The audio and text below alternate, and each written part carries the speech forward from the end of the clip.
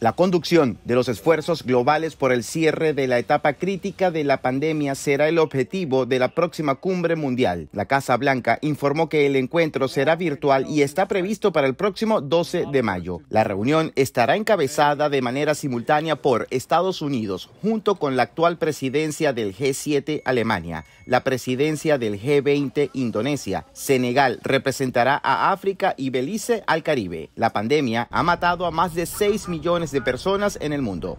El COVID nos tomó absolutamente por sorpresa. Hace dos años una de las razones más importantes es que no teníamos una buena cooperación internacional. China nos ocultó información crítica sobre la transmisión, particularmente la propagación asintomática, y necesitamos fortalecer esas relaciones internacionales porque una pandemia es global y necesitamos cooperación global.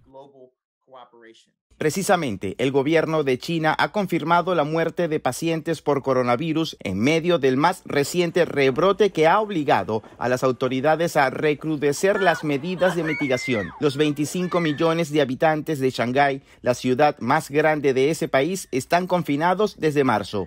El domingo, Shanghái informó sobre tres muertes por COVID-19.